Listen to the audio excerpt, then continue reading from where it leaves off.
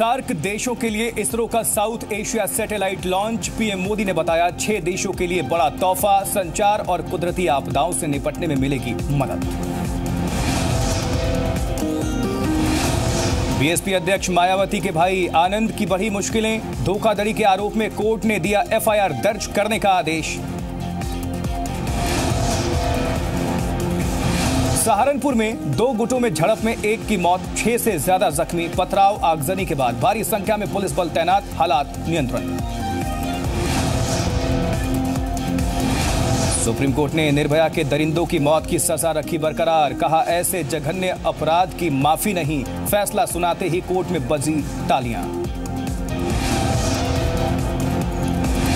Supreme court के फैसले से खुश निर्भया के माता पिता माँ बोली, इंसाफ में देर है, अंधेर नहीं। तो पिता ने समर्थन के लिए लोगों को कहा शुक्रिया। कश्मीर में स्पेशल पुलिस ऑफिसर की पिटाई का वीडियो वायरल। आर्मी का जासूस बताकर दहशतगर्दों ने पीटा, बाल भी काटे।